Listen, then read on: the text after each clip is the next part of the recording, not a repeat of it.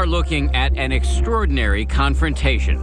A young mother simply trying to take legal custody of her four children, surrounded by a throng of polygamist women, members of an outlaw church, wearing prairie dresses and singing hymns. You display an enormous amount of calm in the face of all this. Where did you muster that from? Well, I knew my kids were watching and I, they needed to see me have courage. They did. Her name is Sabrina Broadbent.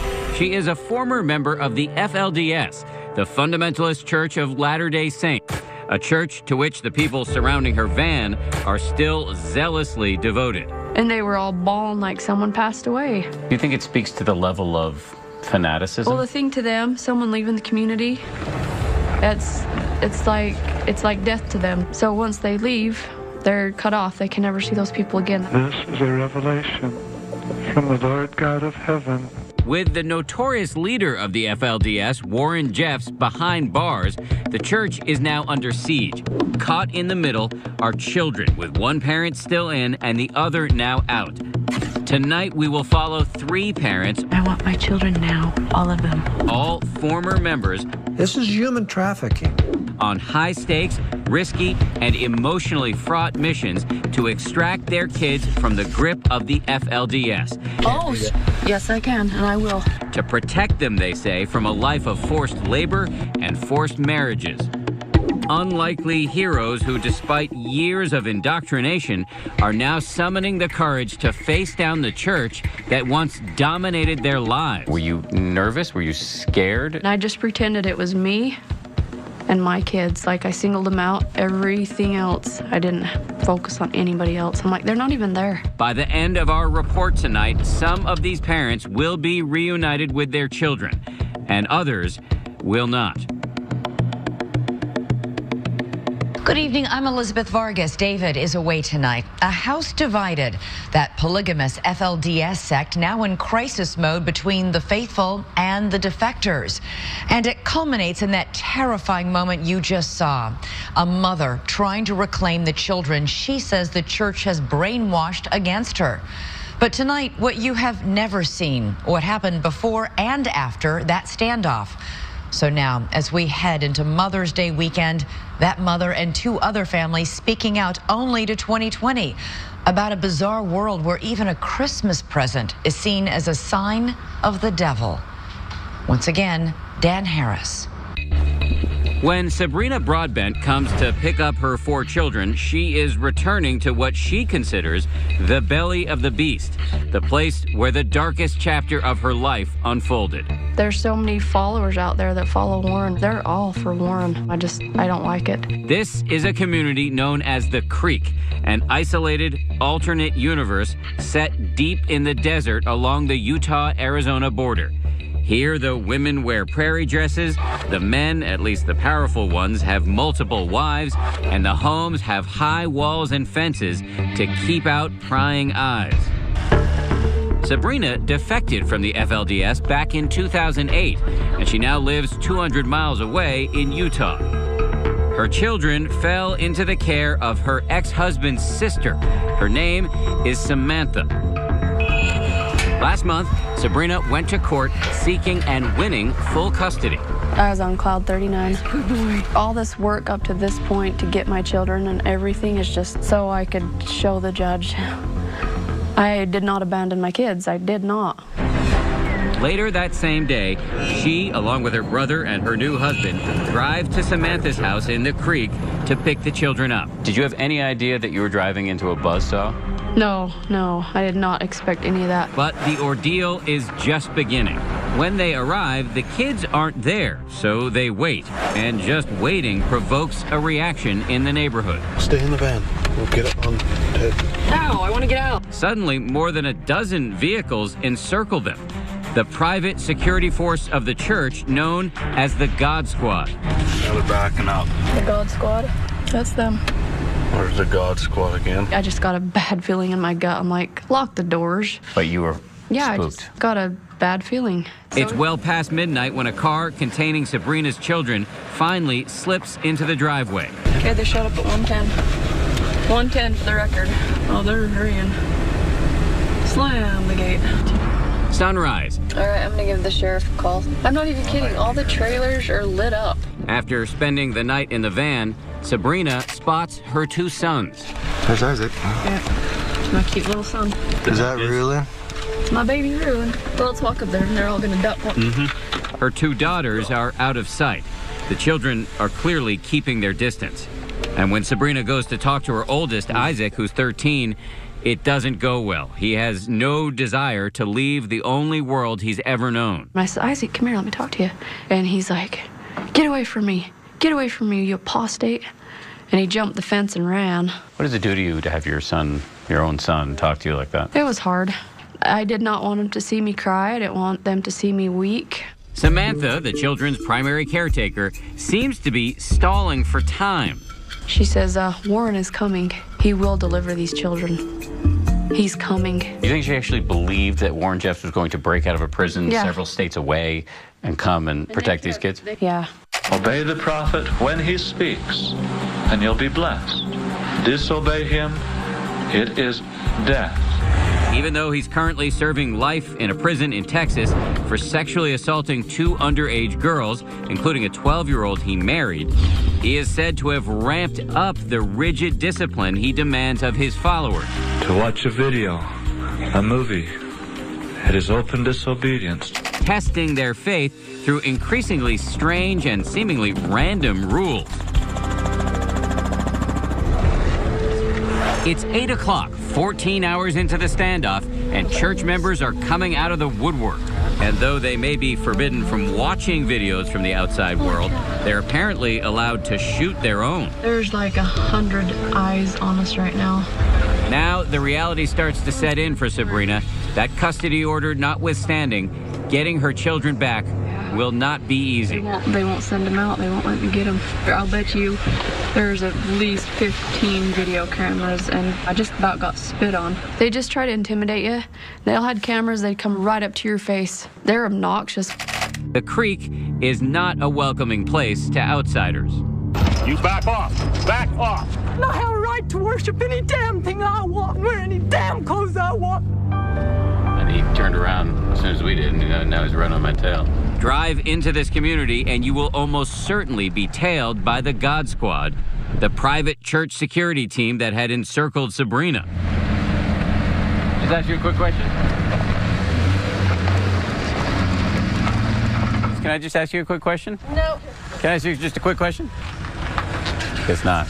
On the rare occasion when you can actually get a church member to speak to you, what you will hear is unvarnished adoration for the imprisoned pedophile prophet. And is that the view of what's happening with uh, the prophet, that it's persecution? Um, in my opinion, yes.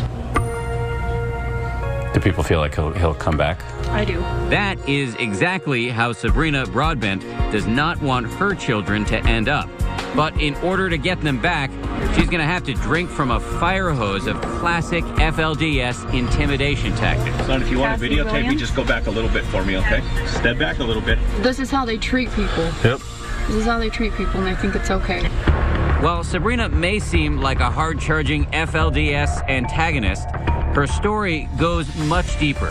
Not long ago, she was on the other side, a die-hard church member, prairie dress and all. When you grow up, and that's all you know, you know? That's all you know. All right. The wrenching story of how she left without her children. When we come back. A House Divided continues. Once again, Dan Harris. 2006. Let's do it. Joe Broadbent, an FLDS runaway, launches a series of commando style missions to extract his entire family from the church by any means necessary. I could see him sad, depressed, hurt, scared, and I'm like, why not try and get him out? As seen in a documentary called Sons of Perdition, his most adamant opponent is his oldest sister, Sabrina. Yes, ironically, the same woman who would later find herself on the other side of this conflict was then a zealous defender of the church, here literally pulling on one of her sisters to prevent her from leaving. She's not going. He never stop praying and obeying. You never stop keeping sweet. When you're groping, that's all you know, you know? That's all you know. So you thought Warren Jeffs was God's mouthpiece? Right. The Broadbent family tree is actually quite slender by FLDS standards. Sabrina was raised in a household with one father, just two wives, and 22 children. How old were you when you got married? I was 17. And was it somebody you wanted to marry, you got to pick, or? No, they're just assigned to you. Many a young lady gets married thinking her husband should submit to her will. But a woman's duty is to bless her husband. Sabrina knew from the recorded sermons of Warren Jeffs that the job of an FLDS wife is to obey her husband and bear children. And she did her duty delivering two boys and two girls in rapid succession. Her brother Joe had a different duty, working without pay as a manual laborer. How old were you when you were first put to work? I was 10 years old. I started driving forklift when I was 12. In fact, I learned how to drive a forklift before a vehicle. So they're brought up working child labor. Sam Brower is a private investigator who's been looking into allegations of FLDS child abuse for more than a decade. Warren Jeffs has, has said if a child wants to play with a doll, give her a baby. If a boy wants to ride a bicycle, give him a shovel. Quit it, my hell. Get out of here. Driving around the creek, we found children at work everywhere with shovels, building fences, running heavy equipment. Brower says his investigations uncovered FLDS organized child labor on an industrial scale at pecan orchards 20 miles away from the creek.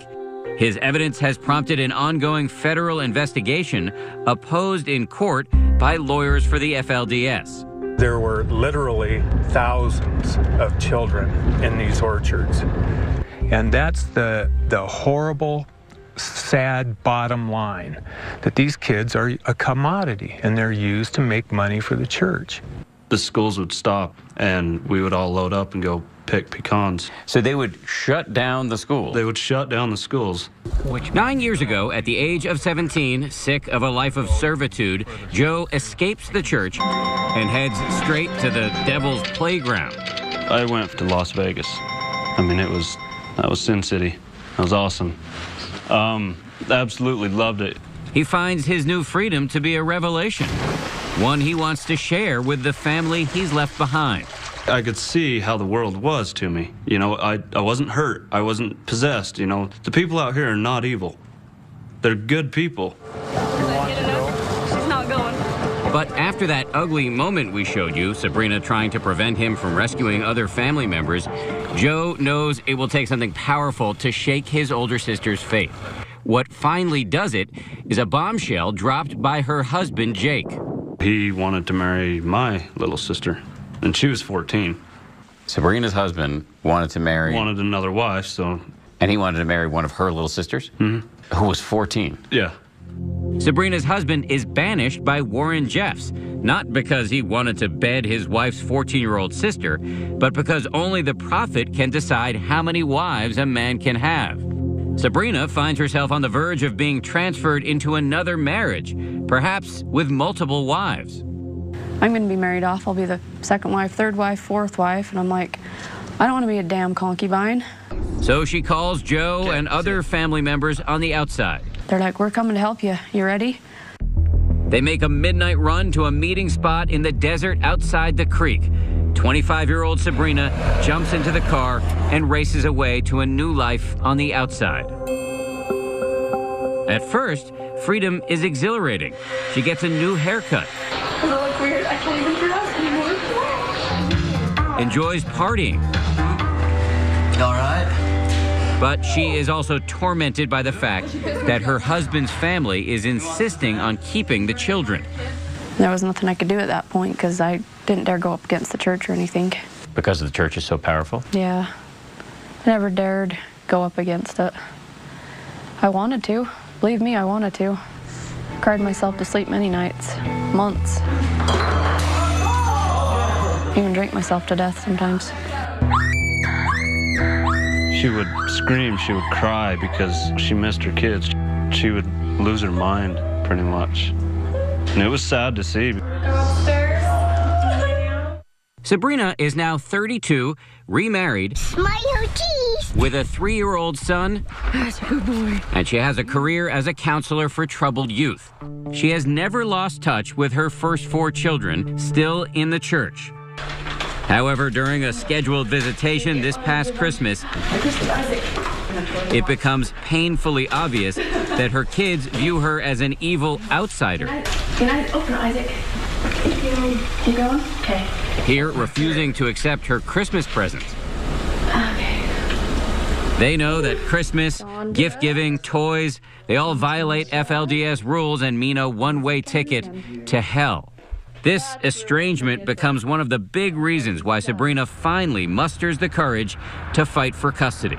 The court order, a sweet vindication of her efforts. There's no tears. There wasn't. I was too happy to cry. And you got right in the car and went to go get them. Yeah, we did. Which brings us back to the standoff. They won't send them out. They won't let me get him. It's now noon. We're 18 hours into this thing, and as the crowd surrounds Sabrina's van with video cameras, it is becoming clearer and clearer to Sabrina that her kids are siding with the faithful. That's Isaac right there, the eldest. And this is Rulin, the younger boy. And here are daughters Sandra and Letitia. Had to lock the doors. Little people are throwing chickens in the van. At one point, the boys even try to put a calf in her van. I'm so sick of this. This is so uncalled for, so unnecessary. What do you think their fear was? Why did they so badly not want to go with you? Because they've been they've been poisoned against me. Because I live out here. I'm an apostate. Have they been taught that you're evil? Mm-hmm. They called me the devil a few times. You're the devil. You know. You're going to hell. About 20 hours into the standoff, Sandra, on behalf of her siblings, delivers a handwritten contract pleading for future trips to the creek. We will only be in this house if you will sign this paper saying that we can have visitation with Samantha. I'm not going to sign anything. It's on my terms. The war for these FLDS children is at a stalemate. But across town, They wouldn't open the gate. another mother is fighting a similar battle on another front. I'm scared. She was once the queen of the FLDS castle. Now she's come back in order to take back her children. I don't want my girls to be raped. I don't want any of my boys to have to sit on the side of their bed and watch their wife get raped. I don't want that. When we come back, her allegations of a new sadistic sex ritual. Plus, is the local government in the pocket of the church? Are you answerable to the public? We go uninvited to the city council for answers. Really, nobody wants to respond to that? Stay with us. 2020 continues with Dan Harris.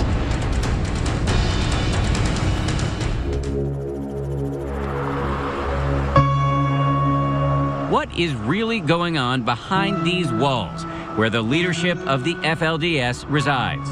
It's just not the same anymore. Charlene Jeffs used to be the queen of this castle, and now she's returning to her old home, wielding information that she says could rock this fortress to its foundations. My youngest daughter right now is 14.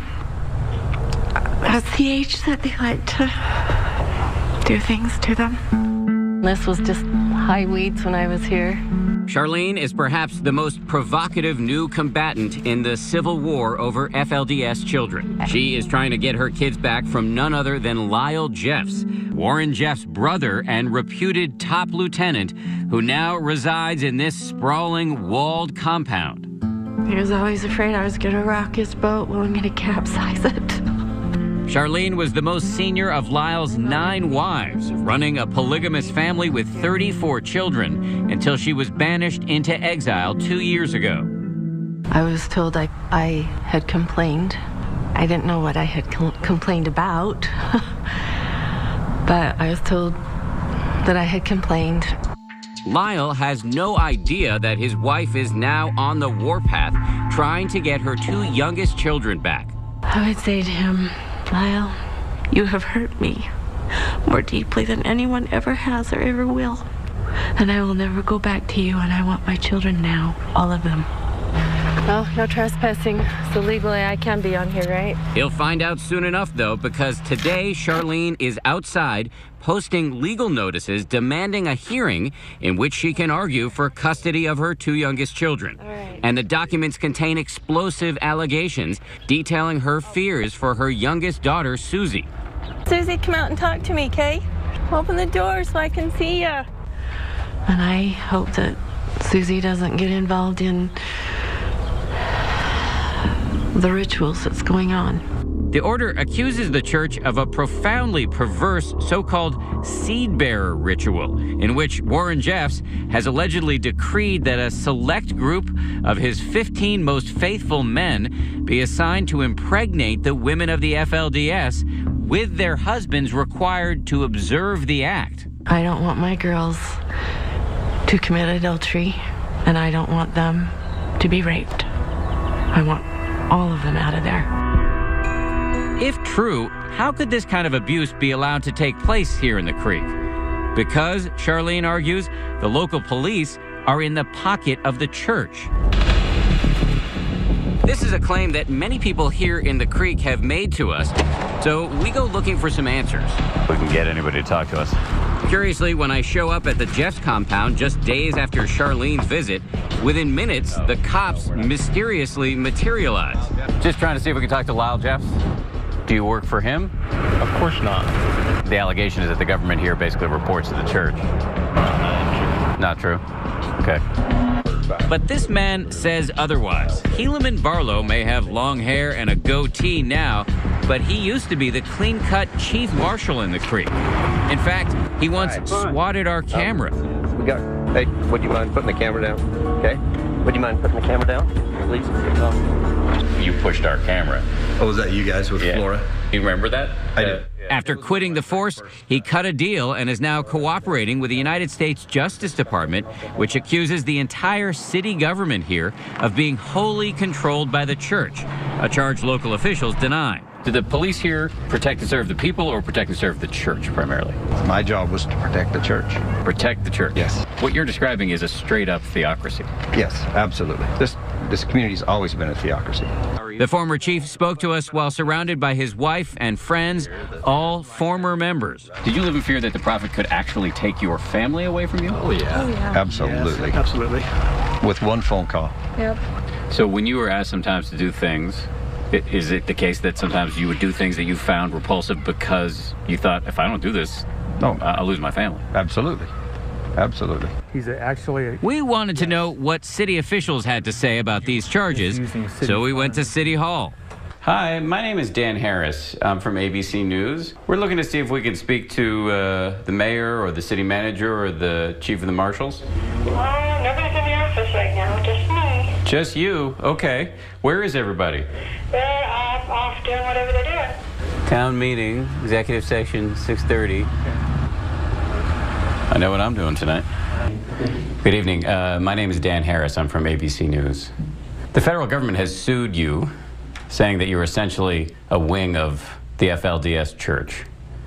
How do you respond to that?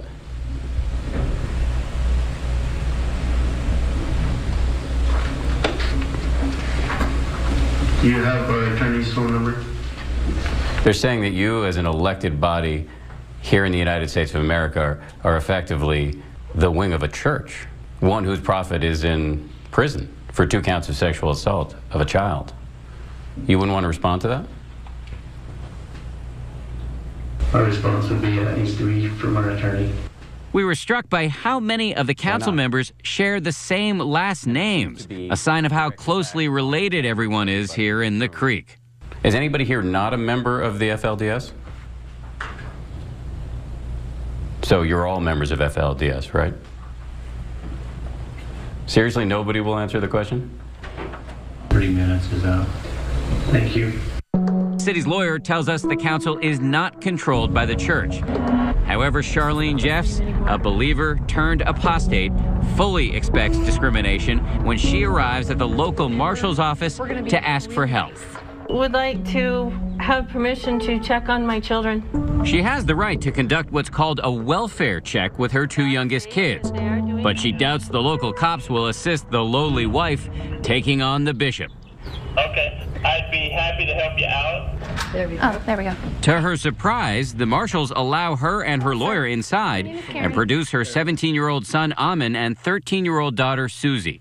Susie tried to fight on a hug, and I know it's just because of the teachings. And Ammon just did a handshake. But Ammon smiled, and I felt like it was a more sincere smile. I know that they love me.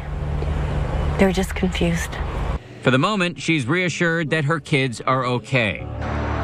But then, late that night, under cover of darkness, our cameras capture three large trailers easing out of the Prophet's compound.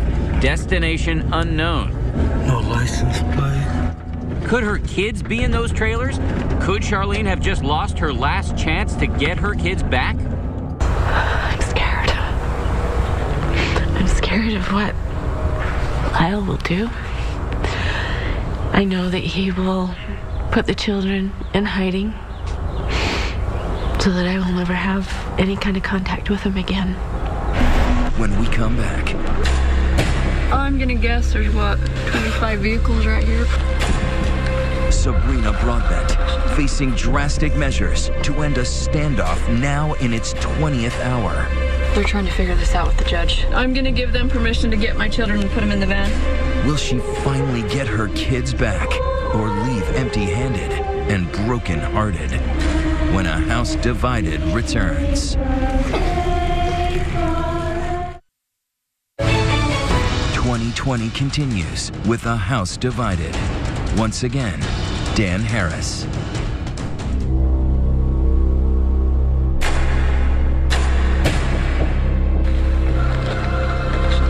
20 hours into Sabrina Broadbent's standoff with the FLDS. She still doesn't have her children back, and she's finally had enough. They are waiting for me to give the to go. They we got a pickup order. She's called in law enforcement, the county sheriffs, who are not accused of being beholden to the church. And now she tells them it's time to use force if necessary to end this thing. Now, what's going on with the cops? They're talking on the phone. What's going on? They're trying to figure this out with the judge. Oh, okay. This protection order or this uh, pickup order. I'm gonna give them permission to get my children and put them in the van. So here it goes. I'm sick of this. As if on cue, the FLDS women react. I started seeing them bring their suitcases out. I'm like, okay, here we go, here we go. 50 people trying to help the kids out. And the cop, one of the deputies went up and says, this is your last chance. We'll be down the road. Finally, escorted by their FLDS keepers, the children walk toward Sabrina's van, crying. That's her older boy Isaac there, covering his face. It seems like things might be looking up for Sabrina and her family, but wait, out of the blue, the tide turns. Scores of church members descend upon the mouth of the van. It's a sea of prairie dresses and updos. They're like, we're not forcing the children. They have to do it on their own. But they're so brainwashed, they wouldn't even step in the van. Sabrina's brother Joe, who's gotten so many of his family members out of the church, was right there. They're saying you're, you know, you're, you're leaving with the devil. People in the crowd are weeping, praying. They begin singing an FLDS hymn.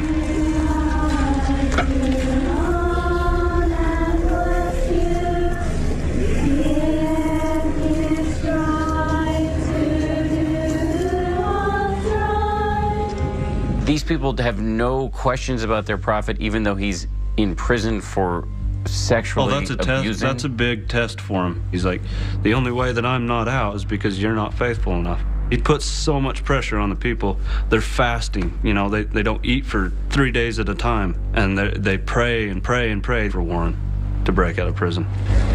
For a moment, Sabrina wavers. We were going on two hours of sleep. I, I couldn't eat. They're like, well, we can come back tomorrow. I'm like, no, we're doing this today. This is happening today. The sheriffs are slow to act here because they say they're worried this tense scene could explode into mob violence. But finally, a sheriff's deputy pokes his head around the corner of the van and says, Time to go. At long last, the kids get in. The van pulls away with the followers of Warren Jeffs waving and weeping.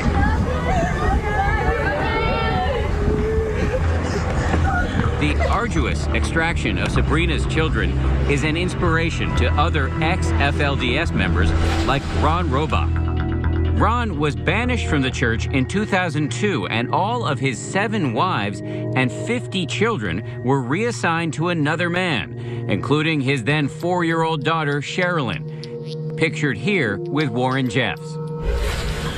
Then, one day recently, a strange call from the FBI puts him in the middle of his own harrowing custody dispute.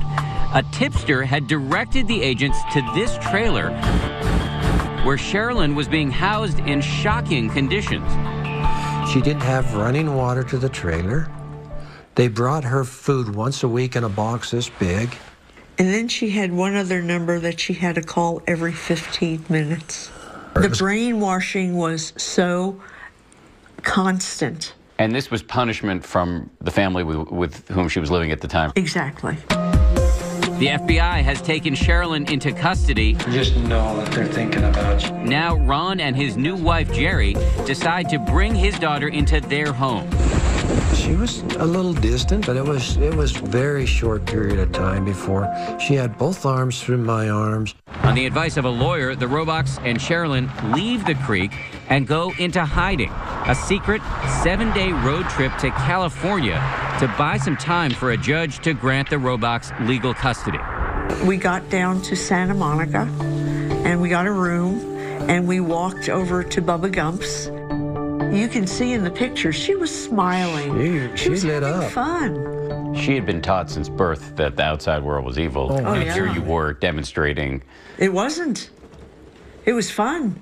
For the Rohbocks, these first baby steps toward a new family life for Sherilyn seem to be going well.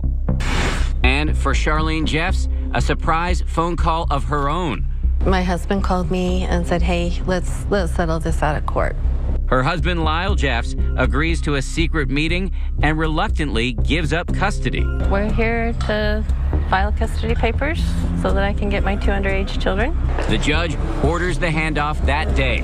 Charlene invites us to document the transfer from a distance with a sheriff, a marshal, and church security right there to make sure it all goes smoothly. The kids refuse to get out of the white car they're in, but they do agree to follow their mom to their new home outside of the creek. It was a hope. It was a risk in losing them altogether. I had to just rely on faith and prayers. So here we are Charlene Jeffs, FLDS royalty, breaking free. Sabrina Broadbent through sheer determination. And Ron Rohbock, all now reunited with their children. But will it last? The truck door opened up and they grabbed her and pulled her in and she was gone. I'm scared. It was a nightmare when we got home. What do you mean? Can she turn this ordeal into a happy ending? When we come back. We return to 2020 and Dan Harris. 22 hour standoff, Sabrina Broadbent departs the creek with her children, enjoying a moment of personal triumph. All I wanted to do was get the hell out of there. That's all I wanted to do. But it's only a moment. As soon as they drive away from the standoff and head up Highway 59 through the Red Rock mesas and mountains to her home in southern Utah, the road gets rocky. How were the kids when they got in the van? They were all crying, and my youngest was pulling my hair and throwing things at my head and stuff. But I went back there and just nuzzled up to them and looked at them like they were my friends. Like, here I am. How did they react to that? After about a half an hour, they all fell asleep. But it was a nightmare when we got home. What do you mean? My oldest took a magic marker to my 60 inch screen TV that we just got and cut all the cords to the TV to the dish. These kids were raised in a world where they were told that the outside is evil. And here you come pulling them into the outside. Right. At what point they, they packed up their stuff They did. And they sat out on um, my front lawn with all their blankets, and their suitcases. with their suitcases, and cried. It was dang hard for, to me to see that. Ha! Got it, Joe! I got it. Undaunted, Sabrina is determined to reconnect okay, Hillary. Up. And catch up on lost time with her kids far away from the FLDS. Pull! So she is filling their days with the kind of fun the prophet Warren Jeffs would never allow skeet shooting, hiking, fishing, and four wheeling. Rue, did you go out drive this? I'm getting You're gonna? Oh, good. They've come alive the last couple of days. We've been going out and doing activities with them and involving them and stuff, and they love it. Aided and abetted by the purchase of a new puppy, and of course by lots of maternal patience and love, Sabrina's children seem to be coming around. I only have to do the automatic ones. So here we are, a couple weeks later. Mhm. How are they doing now? They're doing great. Last night was the first time they watched TV, Ever? first time in their life. I don't know if that's a good thing or a bad thing. Well, it's it's the it's good stuff. It's like the old Disney movies like Herbie and Apple Dumpling Gang. It's like they're catching up Yeah. on childhood. To ease the transition, Sabrina is letting the girls wear their prairie dresses until they decide to change on their own. And I'm not gonna force them to do anything like their hair, the way they comb their hair, their dresses. You know what? Everything is happening so fast. On another highway, crossing a different desert, Ron and Jerry Rohbock head home to the creek after five seemingly happy days in California with Ron's daughter. But Ron and Jerry noticed something odd in Sherilyn's behavior. She was writing in shorthand. Indecipherable scribbles in a kind of cryptic journal. And as they approached the Nevada border town of Mesquite, She said, Oh, we're not stopping in Mesquite? Why was she so concerned about not stopping in Mesquite? so at Sherilyn's insistence, they pull off the freeway and drive into this parking lot. Sherilyn's sitting in the vehicle. She didn't want to get out. So I walked around to the, her side of the car, and at that very minute, the truck pulls up. She jumps out. They grab her. She's in the truck, and they're gone. I mean, it happened like clockwork. The Rohbocks say they have no doubt that Sherilyn somehow tipped off the FLDS and helped set up this brazen snatchback. So where is your daughter now? I have no idea. My personal beliefs is she's right over here in Lyle's complex. I helped build that property. You know how many secret hiding places there are in that place? They've got caverns within caverns in there. The resistance and the resources of the remaining FLDS hardcore membership raises some disturbing questions. Could they resort to violence as the leadership of this outlaw church loses its grip? The people who are left following him are following a madman who I don't believe has any hesitation at all in leading these people out in a blaze of glory. At the north end of town, a locked iron gate blocks the entrance to an abandoned man made cave designed to protect the FLDS from the threat of a government raid. Today, it remains an ominous symbol of a sect that sees its survival as a mission from God. And that's what worries me is that there may be another Jonestown or another Waco. Ron Rohbock, who says he lost a golden opportunity to rescue his daughter from a grim future, still takes an optimistic view of the changes he sees taking place here. An influx of non FLDS members, the reopening of the local public school, even a fast food restaurant. So where is this situation heading? As far as I am concerned, given 10 years, it's going to normalize to some degree. Charlene Jeffs is just grateful for the chance to bring her children to the outside, even though their transition too has been bumpy. Eh. Just yesterday, she sent us this home video. That's her daughter Susie, no longer in danger of being subjected to the alleged seed bearer ceremony, but avoiding the camera and closing the door on her mom. All right, the door's closed. Still love you anyway. Like Charlene, Sabrina Broadbent is dealing with children who continue to swing between resistance and reintegration. Pull! But with each setback, she becomes more steadfast. They're gonna go back and forth, but you eventually become like the people you associate with, you know? and more determined to savor every little sign of a brighter future. All right, okay, let's go back. Just this week, her daughter Sandra celebrated her birthday. Her gift, a doll. It's the first she's ever been allowed to own. And last night, my daughter actually snuggled up with me and put her head on my shoulder. I lost it. I did. She had a blanket and everything. She's 12. I just like, wow. Wow.